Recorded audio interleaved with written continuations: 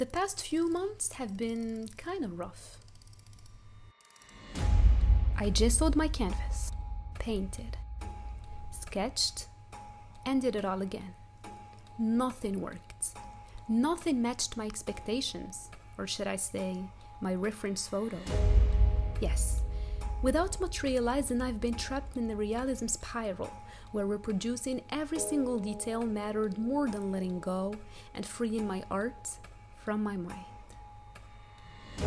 I thought that mastering the techniques flawlessly, laying brushstrokes perfectly, mixing the colors impeccably is the key to becoming a great artist. But I came to realize that it was a trap, a path that shut down my emotions and imagination, that literally tied my hands and made me give up on my art style. I chose perfectionism over expressionism. But guess what? Perfection is not attainable, and if you keep chasing it, you may lose yourself. This is how I realized that it's time for a change. Hi, my name is Zineb, and I'm here to document my journey. I faced an art block, been uninspired, held captive by perfectionism, and I just want to break free. I want to get out of my comfort zone to discover new techniques, learn from the masters, and uh, most importantly, I want to face my fears. And what I fear most is some paint and a canvas. I feel like using colored pencils for the past years literally took over me in such way that understanding a new medium is extremely hard. Whenever I try to paint on a canvas with oils or acrylics, I end up throwing it away and uh, taking back my sketchbook using watercolors and colored pencils. It's my way to get in my comfort zone, to feel secure and uh, in control. The first thing I had to do was to reorganize my workspace. The colored pencils on my desk were so close to me that grabbing them is easy and such a relief. So I'm moving them.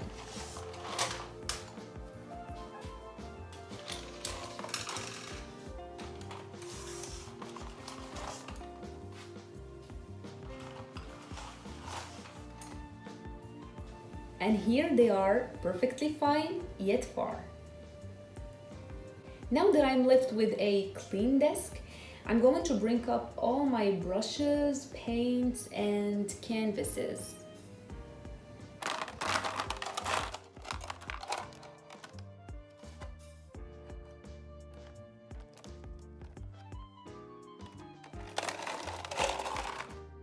I truly think that this proximity will help me commit to the painting and not be tempted to throw it away whenever things get rough.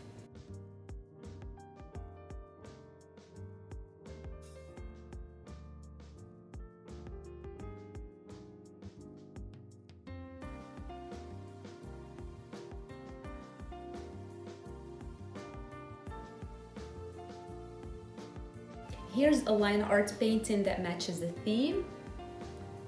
And this is the final result.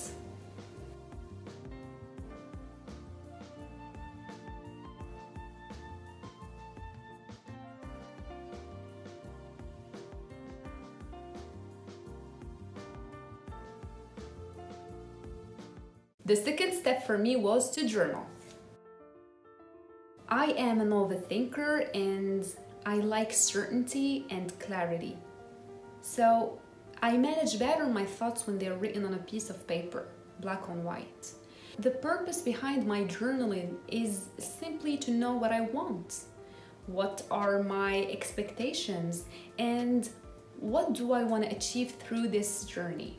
It's a self-discovery and an insightful experience that helps me list my objectives and how to better achieve them. It's also a way for me to be reflective and honest towards myself and regarding my choices, to better understand my emotions and what I would love to communicate through my art.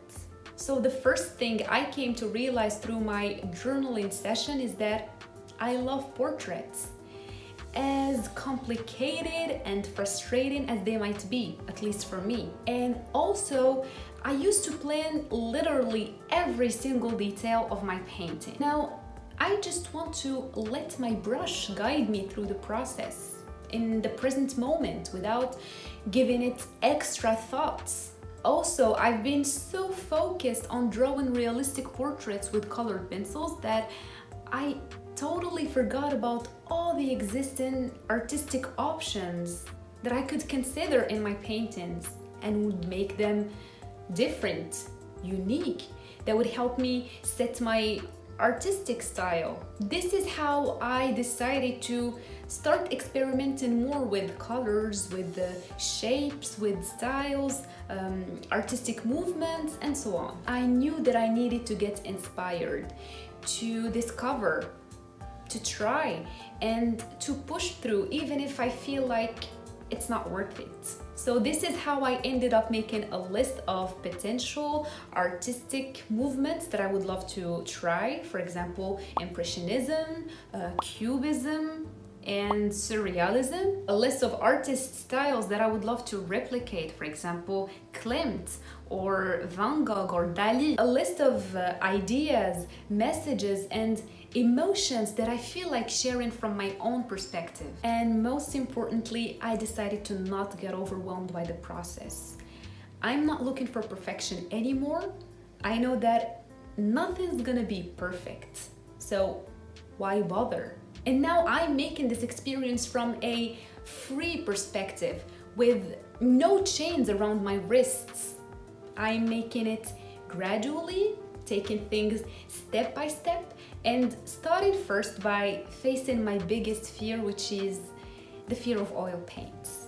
And maybe if you're curious to know how it went, make sure to watch the next episode. If you enjoyed this video and the new series, The Glow Up Journey of a Self-Taught Artist, please let me know in the comments down below. And if you faced too a deep art block or an uh, artistic existential crisis, let me know too about your experience and how you were able to overcome it. Because I feel like that when we share the issues, it becomes a lot more easier to persist them. Thank you so much again and have a great artistic day.